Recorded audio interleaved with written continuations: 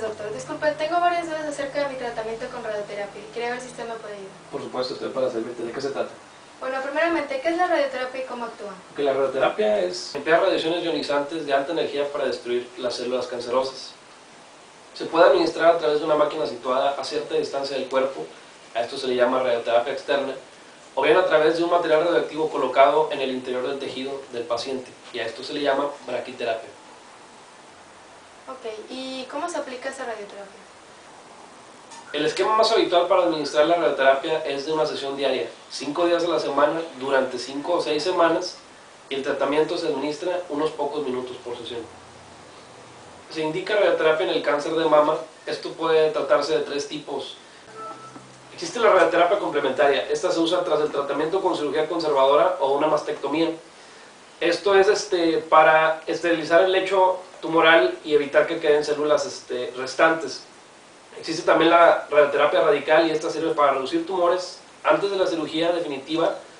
Es para tumores locorregionales avanzados o en el caso de recidivas en la pared eh, costal o en áreas ganglionares cerca de la pared costal.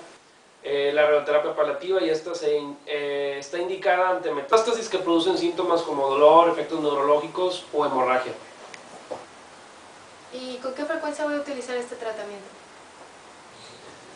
Para que la radioterapia sea efectiva se debe irradiar la misma zona durante todas las sesiones y para esto es necesario un buen sistema de inmovilización.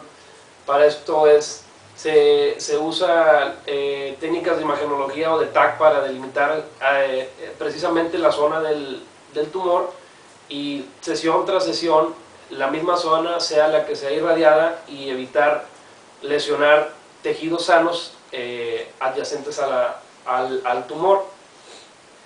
¿Y cuáles son los efectos secundarios de la radioterapia? Los efectos secundarios pueden ser manifestaciones cutáneas, ya sea que la piel cerca del área que estamos radiando este, se adelgace o presente deshidratación o se agriete.